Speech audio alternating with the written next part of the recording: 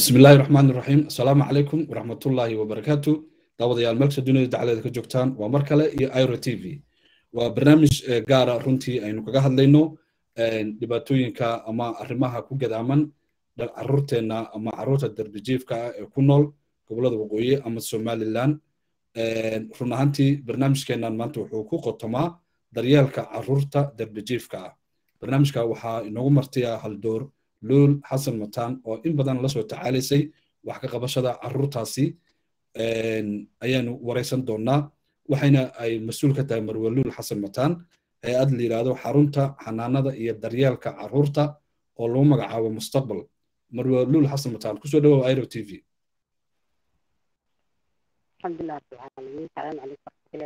Codkaaga sare uqaad codkaaga sare uqaad mahir alxamdulilah rabilcaalamiin asalaamu calaykum waraxmatullahi barakaatu waan dhowahay waan salaamayaa. Wariif faysal iyo tiimka rtv aad baad mahadsantihiin qaadkiina waa idinka mahad celinaya. Waayahay run ahaantii hawshani waxaad saad noo sheegtay waa hawl aad in badan ku soo jirtay. Aadna wax badan ka qabateen waxna idinka qabya yihiin. Daryeelka carruurta darbijiifka ee ku nool somalilandna waxay ku nool yihiin magaalooyin badan siba magaalooyinka waaweyn bal marka koowaad arrintani goormeed soo bilowdeen maxaase idinku dheliyey bismillahi raxmaani raxiim salaamu calaykum waraxmatullahi wabarakaatu faysalo walaalo anigu horta waxaan ahay human right activist baan ahaa tobankii sano u dambeeyey waxaan ka shaqaynayay xuquuqda carruurta iyo dumarka. Hawshan waxay igu dhalatay waxaan ahaa gudoomiye ku-xigeenkii xuquuqal insaanka qaranka isla markaa waxaan ahaa madaxii child protectionka ama xuquuqda waxda carruurta. Carruurtani waxa weeyaan waa qaybo kala duwan. Markaasaan halkaasaan anu igala soo jaan qaadeen ciyaalkani. Waxaan ka shaqaynaynay marka carruurta ane la tuuro abadhagaska yaryar idaarada la dhigo. Carruurta waxaa la geen jiray yaan geynaa intadan la geeya hargeys orphan centerka oo furan ama meeshii loolan jiray xanaanadii dhalintii gacanka la odhan jiray ayaa u furan halkaasaa la geeyaa waxaa jira carruurta halka traafikin ah oo iyadana carruurta la xado ee meelaha laga soo saariidiyo carruurtaasoo dhinacan kolka laga kaxaynayana laga soo jabuuti iyo somaliland iyo laga kaxaynayo waxa la geeyaa wasaasaa laga saariidiyaa kuwa muqdisho iyo eriyada laga keenana xaggan ayaa la keenaa hadisiitooda laga saara carruurtaasoo idan jaal traafikinka ahayd carruurta abigiisu ku dhaco ee dacsiidkuga dhacaan sidoo kale carruurta bafartiga ee faamiliyada ka soo baxa fakriga ama reeraha saboolka ah. Sidoo kale carruurtan spiritual garanka loo yaqaano ama cabteyda ah ayagu aan cidba u tirsanayn ee derbiyada ku nool. Marka carruurtu shantaa qaybood bay ka kooban tahay carruurtaasaan ka shaqaynaynay. Waxaan arkay carruuraha kale in qalmihii la daba cararayo kii luma la raadinayo. Kii aanay ilmihii dee faamili ku hoyanayay iskade ha ahaado faamiligooda saboolba laakiin carruurtan oo agooma ah oon cidna lahayn ka yimina awalan burburkii soomaaliya markii dalkii burburay ayay horta ciyaaladani ka soo halkaasay ka soo alkumeen way ka yimaadeen. Markaas sidaasaan carruurtan iskula soo jaan qaadnay markaasaan iyaga ka shaqaynayay. Waan gartay marka carruurtu waxay saad sheegtay shan qaybood bay ka kooban yihiin waxayna ka yimaadeen meelo badan oo deegaanada soomaaliya ka mid ah. Marka meesha ugu horreysay aad hawshan ka bilowdeen ma hargeysa ma boorama ma burca waa magaaladee waxaan ka bilaabay beeshan ka bilaabnay hargeysa. seven anigoo markaa jooga xafiiska xuquuqinsaanka qaranka ayaa waxaan arkay wax maalin maalmaha ka mid aya anigay carruurtan aanu saaxiib ku nahay laamiyada mar walba xafiiskan ay noogu yimaadaan dhibaatadooda si gaara aan u ilaaliyo ayaa maalin ano seminaar hodheel haruuna layidhaayo hargeysana garanta laga yaaba ee ku yaalla dooxa agtiisa seminaar ayaa waxa dhacay ina yarbaa waxa jeeday gaari seeraba oo laba ninoo qorbajoog wataan. Iyo nin kale somalilan ah ore hargeysa. Meeshii lagu urursan yahay anoo isla abaxdiisa ku noqotid ayaan markaa ku soo cararno waan eegnaa aniga kale waxaan aragnay iyagoo dadkiile waar waxaan waa alkooliist waa ilmo yaro marka isaguna ninkiina waxoogaa yar damiirku qof qorbaha ka yimid hayo u leeyahay aniga ilmaha dhiigu ka daadanayo iyaan ka tagno oon soo garab istaagno markaasaan ku waar ilmaha nagaa dhale qaad ilmihii baan gaadhigii ku qaadnay xagga dambaan markaa kusanay dhakhtarkii weynaa baan geynay ninkii wuu yaabay gaadhigii baan ka xiray oon ka xidhay markaasaan ku yidhi gaadhiga noo haya kuwii booliska ilaa ilmaha madaweyneyna qoladii reer hargeysa iyagu waxay leeyihiin war naagahani hay'adaha lacag ka carruurtay lacag ku gurtaan waxba iskuma aha ilmaha yar waa dib jir waa alkooliisay ilmihii yaraa cishuu ku jiray runtii inankii wuxuu la yaabay. Ilmihii anigu waan ka hadhi waayey waan la nala daweeyey sideed qodob baa la qabay oo lugtaasaa jeexantay kulika hoostiisa waxay yimiday carruurtaasi markay dhibaato ku dhacaan dad bay yeeshaan oo qaar baa soo sheegtaa. Odayaal baa yimid oo inankii yaraa inta saa u eegay baan yidhi maya markii hooyadii abahay accident bay ku dhinteen odaygani waa gurigiisa afar sano ka hor iga soo celiyey marka anigu madihiiba cid kan igu dhiiba xayraamiinta ee wixii aan siinata inankii yaraa toddoba cishaan dhakhtarkii kula jiray wuu ninkii aad buu ula yaabay. Waxay guri maxaad isku tihiin misboqolaad tihiin maxaa kaa galay? Markaasaan ku maya ilaahay dartii baan u caawinaya insaanka inankaa yar waxaan ku ilaa aad igeyso oo nabarkaas jiro adigu ku saaran yahay inankii halkii baan isku baranay waxay noqdeen inamo guriga markii dambe ilaa haddaan xidhiidhan reer norway oo way iga soo caawiyeen markii aan santarka sameynay hawshaa maalintaasaan faysalo u go'aansaday. Markaan arkay ilmaha cid socotay cid inaga rasaani jirin inaan rasaan gareeyo xafiiskeygii aan u d b sunnada ka qaadanayey ee aan xafiiskeesii la fadhiyey inaan kaga tago. Marka oon carruurtaa u noqday eh sidii baan marka dadku way ila yaabanayeen mashruuca markaan bilaabayay waxaan sameeyey local n g o baan sameeyey sokor lidhaa waxaan ula tegey kow nin maayarkaha magaalada ilaahay qayrasiiyo jiciir jiciir baan ku waxaan doonaya carruurtanaan qoslo markuu yidhi carruurta labaatan sano dowladihii ka shaqayn kari waayeen. Miyaad ka shaqayso kuda anaa ka shaqaynaya. Ee adigu dhul maysataa danguuda saasaan dhul marka hargeysaan ka bilownay markii u horreysay carruurta xarunta weyn ee hargeysa taala taasoo ku timiday alxamdulilah reer somaliland baa ila dhisay ha u horeeyaan dahabshiil iyo talasom carruurta hortooda ayay madaxdu way ka khajili jireen halkan iminka lagu dhejisa xayeysiisyada ee dahabshiil hortiisa iyo sacaadiin waxay ahaayeen meesha daayeerka iyo ayga iyo ilmaha yar koolada ku wada cabaan hablaha yar waxay ku umulayeen ku dharayeen talasom hoosteeda meesha yara dooxeedaad ku maro maqaaxyaha dabadeeda maandeeq iyo marka aad bay runtii uga danqadeen dadku sheekh qaadan iyo culimada magaalada qaarkood adigu waan ku guntanay wayna igla garab istaageen. Si wanaagsan bay xaruntaasi u kobcday mar keliyaan xiraynay saddex laba boqol iyo siddeetan wiil iyo lixdan iyo saddex hablood baan xiranay hablihii qaar baa ku dhalaalay meesha oo carruurtii aan geenay meeshan carruurta lagu xanaaneeyo. Meeshii aad bay u wanaagsanaatay. Taqriiban markay afar sano jirto ayay dowladda kulmiye waxay timid iyadoo jirta laba sano tantankii markay tankii yimaadeen aduu foodiinkii afar sano iyadoo jirta ayay meeshii wanaagsanaatay. Oon ciyaalkii boqol iyo soddon ciyaaloo carruurtaa ka mid a aan celinay oon u samaynay recreation oon dadkoodii u helay oo saddex iyo soddon gabdhood iyo carruur sagaashan wiil aan celinay oo lagu kala celiyey gobollada somaliland. Carruur jigjigasharaad ka yimi qaar jabuuti ka yimi qaar ka yimi soomaaliya oo labiyo labaatan ciyaal aha qaar ka yimid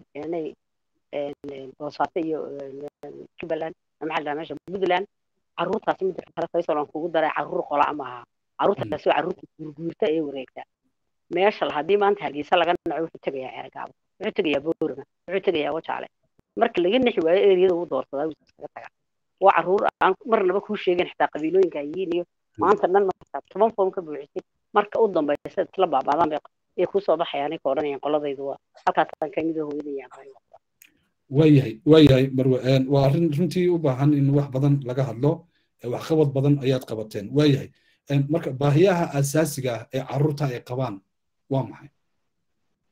Walaalo baahiyaha asaasiga carruurtaas qabaan carruurtaasi waa agoomo aan cidna lahayn. Cid ka naxdo male waa carruurta ramataysir oo qalbigu gubanayo bulshadu kama naxdo waa carruurta jajiga jufanaalsiska sharciga khilaafa waxa weeyaan iyagu way isdilaan way isku dacatiyaan iyaga waa la dilaa loogama naxariisto waxa weeye maantana waxaad arkaysaa nin labada lagood saa isku dul kursi ku fadhiyo kudhe kabaha igu dul waxaa la odhanaya gaaribaa maydh gaariga imaydh markuu gaariga laba kun baafka laga jeedaa orom hoobay ka odhanayaan qaado xuquuqdooda lama ilaaliyo ma helaan xuquuq asaasiya biyo nadiifa ma helaan ma helaan inay cunto ma helaan hooy ma helaan waxay ku inay derbiyada iska seexdaan. Waxa weeyaan waxay ka baqaan daadadkaasaa qaada qaar badan baa la waayo daadku qaaday. Waxa waxay u dhintaan calool xanuun waxay waayo waxay cunayaan hambooyinka iyo waxaad la soo ururiyey meelaha way soo daweystaan iyaga laftarkooda isku sii dactiyo niman waaweyn oo gaangiisa aad arkaytaay oo kuwa naqnaqane toban jirada ah ayay ku odhanayaan ordo oo iisoo dawerso ordo soo qaad adigu wax iisoo raadaan cuno. Iyaga isku sii dacatiyaan dadku naxariis uma leh. Dib jiriyo uska gaweyn hibay ka odhanayaan naga durug. Anay waxa weeyaan hablay leeyihiin oo caara oo yaryar oo waxaad arkaysaa timaha la xiiranaya markaasaa way ka casirsan yihiin tuugada hataa hablaha. Ayaa waxay ku odhanayaan markaad la sheekaysato iyaga. Lama fahmo intay jibaab yaroo gaaban xidhaan bay dadka jeebsiibaan inamada sida markaaba iyaga oo la dilaya waxaa lala dhacaya marka bulshadu marnaba arxan uma gasho caruurtaa yaryar taa waxaa ka sii daran agoomaha family burburka dhibaatada ku hayo somaliland. Waxa weeye waxaad arkaysaa waxyaalahan xerada ku haynayay xerada imika dowladdu waa tii qaadatay dowladdu aniga markaan afar sane xerada fiican ku hayay aniga waa tii laygu soo weeraray waa tii layidhi waa shaqadii dowladda gabadhan qabanaysaa aniga waa tii la xidhay waa laysoo daayey laakiin alxamdulilah institutionkii weli wuu socdaa magaca wasaaradduuna ku socdaa inkastayna caruurtiida intii laakiin ku jirin. Hadda si way ku jiraan ciyaal baa ku jira intan ka warqabo ogaalkii. Weli muu baabiin. Alxamdulilah intaasaan anigu ku faanaa. Mar hadday uun sii wax ka sii jiraan haddii la waa la kacaa anigu uma marooranay haddana meel kale naasaasay marka aan kaa dhex galo marka waxaad sheegtay meeshii aad yagleesheen ama xaruntii inay dowladda somaliland la wareegtay. Marka adigiina siyaabo badan hodda ka horna aad ka hadashay. Marka la wareegistaasi adigii wixii aad qabatay iyo juhdigii aad gelisay iyo khibraddii aad u lahayd dowladdu maynan wax kaa weydiin. Wallaahi waxba igamay weydiinin waxa weeyaan dee wax somaliland oo dhan ka warqabta weeyaan caruurtii markaanu boqol iyo soddon ciyaala ku celinay guryahoodii markay ciyaalkii nolol heleen markay iyagoo shan jisoo maalinta ka tegayaan xerada. Caruurta qaarkood shan jis oo quraan ay xaafid ahaayeen waxa way qaar iskuulaan geeyey qaar vocation training baan geeyey meelay wax ku dhiganayeen inamada waaweyn. Ee ka dhacay noloshoo kale sidii toban jirada ah waxa weeye wallaahi lama odhanine waxa weeyaan wixii qaab kalaa loo loo bedelay baan ku sheegaya faysalow si kaloo awood dowladeed baa meeshii timiday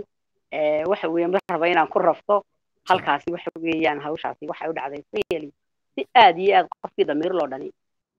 somaliland oo dhan way ka xumaatay afarta boqol ee masjida hargeysa waa laga hadaaray dowladda. Tii hore tan maaha tii hore kulmiye bay ahayd. Waxa weeyaan caruurtiiba dib suuqii ugu soo noqotay dayacantay rafaaday. Tan december waa naxay maalintii maalintii xoqonitaanka saddex xafiis xoqonitaanka qaranka wuxuu soo reesgeliyey saddex ku jira waa saddex boqol iyo afarta boqol ku jira laakiin maanta malin waxa lii sheegay carruur boqol ku dhowbaaba ku jirta lahaayo arkay marka waxa weeye sidii baa lagu qaatay. Anu keliya waxaan markaa layay waa lay xidhay oo ergaa lai soo galay oo odayaashii reer awdal baa yimi. Aniga saleebaan baa soo dhintay guddoomiyaha guurtida iyo odayaasheenii reer awdal markaasaa layidhi institutionkii mar haddaad qaadateen? N g o eegooda faraha uga qaada intaa keliya hata n g o soo kabaa aniga laii badbaadiyey wixii tacbiga galay wixii lacag iga galay wixii oo dhan iyo wixii oo dhan way isla baabeen laakiin uma calacalayo carruur somaliland ayaan soo saaray igu ixtiraamo meeshaan joogaba hablahaygii aan guuriyey afar hablooda layga guursaday afartii sano dee waxa weeyaan mid waliba reerya carruur ayaan ku faanaa inamada maanta taksiilayaasha hargeysa u badan ee tigista wada anaa ka wada mas'uulo maanta ilmo yaroo derbijiinfa haddii gaari jiro ee wasaaradda qoyska ciiduma yeedhe meesha wiil xasan mataar raadiyo uma leedhaa ilmaha yar haddaad ilmo lix jira ku aragto wajaalo tiraa hooyada magaceed hooyada wiil xasan matan telefoonkayga dusha ka yaqaan marka ciil uma qabo imikana mar labaad waxaan rabaa inaan noloshooda marna noloshooda kamay bixin xafiiska saaxiibbay leeyihiin sidii bisu furan yahay laakiin xarunta labaad imika waxaan ka aasasay galaambigayga ahaa awdal iyo burca inaan magaalooyinka say u kala prioritiga boormay ku xigtay burca ku xigtay marka qorshahaaga wuxuu ahaa hargeysa marka aad arrintaa ka soo farxalato burca iyo boorama inaad waa yahay. Haddaan wax kaa weydiiye hadalkaaga waxaa ku jiray carruurta tacaddi badan in loo geysto. Caruurta ma soomaaliba ma oromaa ku jirta ma qoomi dad kalaa ku jira mise waa dad soomaali sooca wallaahi caruurtaasi soomaali bay u badan yihiin. Meel walbana degaan bay faysalo u badan yihiin. Waxa weeyaan ciyaalka oromo way jiraan carruur darbijiinka oromo waad arkaysaa laakiin kalsooni male kuwan hargeyso kale markadan xaafad badda casriga baan deganahay stil howska ii dhow. Galabtii markaad soo baxdo waxaad arkaysaa iyagoo kaboodii raacday cararayo tegaya markaad tira waryaadaheen midan darjiifkaan waan deesnaqaanaa markaas wada soomaalida seexata derbiga. Waayo waa runtoodo kalsooni ay ku seexdaan malaha iyagu iyo waxay ka baqanayaan ama in la dilo ama in wax lagu sameeyo ama in oromiyaho la yidhaa marka mar walba iyagu waxay yimaadaan meelaha barakacayaashay seexdaan oy tagaan. Laakiin iyagu wadaba jiifkooda leeyihiin inkastoo imika soo badanayaan berigaasi aad may badnayn waxaan ahayn jiray sideed ciyaala. Iyagana kolkii dambe dadkoodii baa u yimid oo iga kaxayseen oo etoobiya looga yimid. Carruurteenii weeyaan carruurtani waxa weeyaan carruur ka timaada gobolladoo dhan bay ka imanayaan meel kastay ka yimaadaan. Carruurtaasi waxa soo saara ee aan saboolka ah ayay ka yimaadaan. Waxaa lagu odhanaya waa child library oo carruurta lagu shaqeeyo. Waxaa lagu odhanayaa ortoo shaqee reerka ugu keen labaatan kun waa inaad maanta keenta xaafadda inankii yara labaatankii kun markuu waayo waxa weeyaan wuxuu noqonayaa kaba caseeye kabaha markuu waayo maanta dhan intuu kabaha yar caseynayo waxaa laga yaabaa inuu tago labaatankii kun waayo caawa. Markay kaaga sheekeeyaan research ka sameeyey markuu waayo wuxuu soconaya wuxuu lagu dili doonaa waa nimanka qaylo guryahooda oo kale dee reeraha dana iska aan waxba haysane ka xayraanka. Markaasa wuxuu ku odhanayaa waa lay dilayaa inankii yaraa muxuu tegayaa nin kaloona ka qasnayn oo halkan joogo darbujiif oo agoona oon loomooyaan oon cidina ka naxaynin. Markaasuu odhanaya war maxaad saaxiib iska fadhi sidaasay ku soo galaan kuwa faamiliyada aanay aan haysan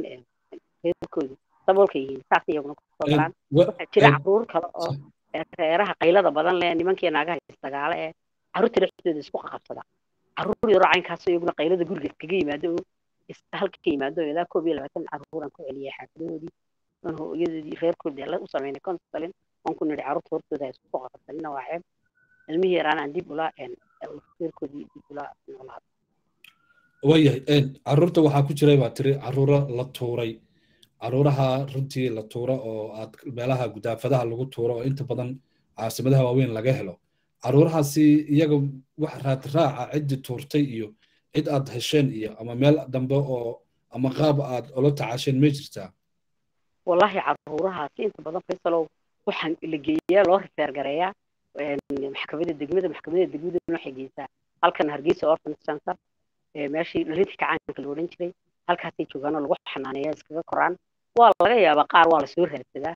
oo marka dambe kuwii tuura way soo doontaan qaarna dee dowladduunbay aanay mas'uuliyaddooda saarantoo halkaasay iskaga koraan aad bay u waa ilaa afar boqol shan boqol carruur inamadii loogu yimiday dalka loogu soo galay berigii dagaalkii hore ee baqashkii wadanka la yimid ayaa jooga oo iminka afartan jiraa kuwii iminka la tuuray baa jooga somaliland waxa weeye meesha waxa lagu carruurta aan waxa haddana iminka la geeyaa kale carruurta reeraha ayma ay askarta madeen mujaahidiintii hore aabayaashoo dhinteen kuwaan iminka waa la geeya laakiin inta badan carruurta ramaqaana la tuuro laba meelood baa la geeya meel islaan hibo la yidhaha samawada oo iyadana carruurta xanaanaysa laantaasina carruurta waxay leedahay meel waayahay marka iminka mustaqbalka iyo waxa aad hiigsanaysaan iyo hawsha aad gacanta ku haysaan maxay tahay alxamdulilah waxaan markii dee marka wixii aad horta ku soo tacabtay meesha ka baxo waxay noqonaysaa haddana mar labaad inaad wixii dib u bilowdo kolley fiilkayga aanu kamaan bixino waxaan oo sidii baan dee uga shaqaynaa waxgolaha kale xuquuqda dumarka carruurta abuuska dhacaya kursiga mushkiladahan waxaan kaloo waan ka shaqaynaa laakiin tii carruurta carruurtii baa waxa kolkii hore waa kii dee qorshahaygu caynkan ahaa marka carruurtii way ka tegi waayaan xafiiskii habeenii dheer way taagan yihiin gurigayga yimaadaan jimcaha way seexdaan iyagoo waxaad arkaysaa raxan oo cabsisana way u soo sheegaan xaafada waxay yidhahdaan carruurtaadii baa halkan iyagoo aroorta ugu soo tusa ilaa berindaha horda marka waxay igu kalisaa haddana inaan barnaamijigii boorama ka bilaabo oon israa kulley dee inta la nool yahay nafta ugu jirto mar haddii aad ilaahay agtiina ugu dhawaanayso aan yihiin dee saa iska dayacan yihiin boorama booramaan tego kaba daran oo markaad aragto abad naxaysaba magaalaba magaalada kale imika way ka daran tahay waxa weeye kuwii halkan ku haynaye xagga u badnaa ayaa haddana xaggan jooga marka imika xarun kalaan ka bilaabay boorama halkii tuuro qaylo alxamdulilah qolo lockdownkii hortii ayaan tegey qadar. Nin caraba ilaaha kharasiyo waxa dee qaybtii labaad maan waayey waxa weeye waxaan waa kii adduunka dee saddex sano waali la galay. Laakiin waxaan dhisay iskuulkii iyo waxaan dhisay saddex hool iyo masaajidkii iyo masjidihii iyo wax ka dhisay jikooyinkii. Ilaahay khayra siiya camud foundation imika waxay igu dareen deyrkiiba hadda la dhisayaa iyagana ilaahay ka abaalmariyo wasideeniyo iyo lacag lacagtii dhulka lagaga lahana wallahi way iga qaybtii u harsanayd marka iyaguna imika inahaas ku darsadeen iyagana waa lakaan uga mahadcelin waa khayr waa hayad khayriya marka marka imika waxa hadhay qaybtii kale ee qaybtii hablaha ninkii xafiisyadii qaybtii shaqaaluhu degayeen qaybaha saa hadhay xarunta marka waxaan doonaya imika inay haddii ilaah yidhaahdo intaa hadhay markaan dhiso ay aanay dee kolley meel kasta ay buuxaan way dayacan yihiin way wada agoomo waxbarasho ma haystaan ma haystaan caafimaad yurbiyaday ku dayacan yihiin marka dee waxaan doonaya inaan imikaasna mar labaad inaan xaruntaa kale haddana aan sameeyo oo hadda dhawaato waayahay marka xarunta imika saad sheegtay gebagabay ku dhowdahay. Marka magaaladu dad dee ganacsataha ku nool dad badanaa jiro oo qurba jooga oo gobolka awdal ama degmada boorama ka soo jeeda iyaga wax maad la kaashatay bal inay wixii kaa kaabi karayaan arrintaas ay kaa caawiyaan. Wallaahi waa runtahay markaan dhagaxa dhignay ayaan waxaan qabanay xaflad. Markaasoo aban islaama wayba qiiraysan yihiinoo de waxay saanantii la soo eryaday laakiin wallaahi maan kala kulmin. Sidii uguma darbanaa dhanta guud uma darbana waxyeeli marka iyagoo keliya ma aha anu carruurta ciddaan wax uga doonayaa ma aha gobol inkastay gobolka hargeysaba dadka dhisay ay dadka reer hargeysa ila dhisay ee gacdhul ila budegay ee ila biilinayay ee maalinta aan go'aan wax aan ku cararaynay kuwa ganacsatada hargeysa. Online waa carruurta bilaa raashin carruurta bilaa biyo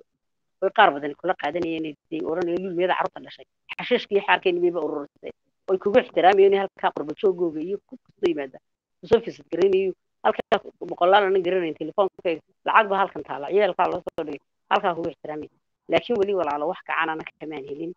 ma dhibaysa xataa dadkan inay danta guud lagaga wanaagsan yahay anigu dad gaara uma jeedinayo baaqayga waxa weeye ciddii ilaahay dartiida waxba xisanaysa dee xarunta gobolkooda ku taala xarunta lagu xaranayana ninka wixii gaalka kala baxa waxa weeyaan waa degaan carruurta waa wada dhibaataysan waa wada isla gobolkii waa bilaa iskuul waxba ma haystaan wadinka arka ciidaha in loo yabaho idinka wax laydinka soo ururinayo kolley dee waxa weeyaan way arkayaan. Nin fadhigaaga arkaya faysalow looma tara kaco. Warkaa qoladaasi ee gobolka gobolkaa boorama joogta. Way arkayaan xaaladda ay ku sugan. Waayahay gebagabadii marka baaqa ugu dambeeya ee aad u dirayso qurba joogta gobolka awdal arrintani runtii dad badan oo muxsiniina jira oo dibadda ku nool oo wax badan qabta. Dadkaasi baaqa aad u dirayso muxuu yahay? Awalan ummadda afka soomaaliga ku hadashaa dad badan baan xidhiir lahayn way ogaayeen caruuro badan baan haynayey oo meel walba ka yimiday oo reerahoodii ugu celiyey wanaag sharafii haya igu soo dhaweeyey meel walon tegey ilaahay khayr ha siiyo isoo caawinayey jaariyaadka ka shaqeeya waxaan u sheegayaa inaan xaruntii kale bilaabay inaan doonayay inaan carruurta sidii u caawiyo inay sidii awalba uga qayb qaateen ilaahay dartii adduunyadan waa daar aakhira daar adduunya adduunyadana qiimaba malaha waxaad baxsanba ka horreeya qof kasta oo aanay magacaygii muuqayga garanaya qof kasta oo carruurtaasi aan cidna lahayn ee agoomaha ah ee dhibaataysan ee derbiyada yaalla ee hooyo lahayn aan aaba lahayn ee family burburka ku yimid ee kuu dhalay dayaceen iskaga tegeen waa carruurteennii waa jiilkeennii waa mustaqbalkeennii waa kuwa dhibaatada maanta aad xamar ka degi la-dahay waxa weeye inamadii aanay laga nixi waayey ee nolosha ka dhacay ee waxa weeye kuwa qoriga wadasteen cidna ka naxay dee ilmaha marka beyadda lagaga nixi waayo dhibaatadiisu leeyahay cadow buu noqon isku arkaya wuxuu noqonayaa wuxuu arkaya dadkan dad dhan aan ka naxaynin cid kasta ganacsatada aanay soomaaliya somaliland cid kasta ganacsatadiina waaweyn haddii ilaahay yahay qurba joogta kuwa gobolka awdal qurba joogta walbii caawin jirtay ee reer somaliland. Oon mahad gaara u hayo mar walbana madaxa ay saaran ahaa kuwii garab istaagay ilaa maalintii la xidhay qaar ka dacwad iyo dagaal galenay dalka markay yimaadeen ilaa dahmo daarka hooseysa waxaan leeyahay walaalayaal waan ku soo noqday mar walbana igu dhaliyo carruurtan uga qaaday kamaan qaadin intaa waan waxa weeyaan iyaguuma wuxuu raadinayay waxaan ka codsanayaa cid kasta oo jecel inay ilaahay dartii wax u baxsato hay'adaha muxsiniinta ah. Cid kasta oo jecel warbaahintu ka mid tahay warbaahintu waxay ahayd lafdhabarkii u horreeyey ee xarunta hargeysa ee la dhisay riyaliinamada warbaahinta hargeysa ayay ahaayeen linki kasta geliyey ee cid kasta geliyey carab kasta gudihiisa ugu geeyey waxaan idinkana ilaahay idinkiitaasaan inaad noqon doonto inay adiguna qof khayriyaa tahay inaad noqon doonto inay qof aan ku faano mustaqbalka ku faanto waxa weeye carruurta rajadoodii gebigeenu waa carruurteenii cid gaara male qolan male qabiil male carruurtaasi waa carruurta iska dayacan ee reer kasta le samee magaalo kasta ka imanaysa ee hooyo lahayn ee aaba lahayn ee meesha lagu dhibo ka tagta. Qof kasta oo soomaali ku hadla qof kastoo ilaahay waxsiiyey oo wax karsanaya waxaan ka codsanayaa in carruurta la caawiyo xaruntaana nalala dhiso nalala qoodiyo halka ay iminka halkii waxoogaabaa dhiman intaana aan iskugu wada tegno marka la xereeyana way imanaysaa wax kale way iska yimaadaan cid wale agsas u leh cidda carabta oo kale wax bixisa muxsiniinta ah waxaan ka codsanayaa inay faysal la soo xidhiidhaan si isaguna ila xidhiidsiiyo kuu soo dhigi doonaa. Ilaahay waxaan ka baryayaa inuu mashruucaas noqdo kii guuleysta. Faysalo adiguna waad bilowda ilaahay inuu barakeeyaan ilaahay aad iyo aad baad umahadsan tahay. Marwaluul xasan mataan ayaa ahayd oo gacanta ku hayso hay'ad khayri ah oo ah mid lagu daryeelo carruurta agoomaha ah. Inta badan sida ay ka hadlaysay magaceedana la yidhaahdo mustaqbal. Barnaamijka inta ayaan ku soo afmeeraynaa teleefanada lagala xiriiraya marwaluul xasan mataan iyo hay'addaasi. Waxaanu ku soo qori doonaa insha allah youtube aynu soo raacin shaashadana waynu soo dhigi doonaa. Cid kasta oo soomaaliyeed oo jecel inay wanaagka qayb ka noqotana wixii ay ku yaboohi karayso yacni sadaqadu qadar male intii aad awooddo ayaad ku yaboohi doontaa wixii tala iyo tusaale ana airo t v ayaad toos ugala soo xiriiri doontaan marwa lul xasan mataan aad baad u mahadsan tahay juhdiga badan ayaad gelisay hawshan aad iyo aad baan waa kaaga mahad celinayaa ilaahay adigana khayrigaad samaynayso kugu garab galo dhammaanteena ilaahay dartiisa u shaqaysanaynaa ilaahay waxaan ka baryayaa inuu nagu asturo mashruucaasina inuu noqdo kii guuleysta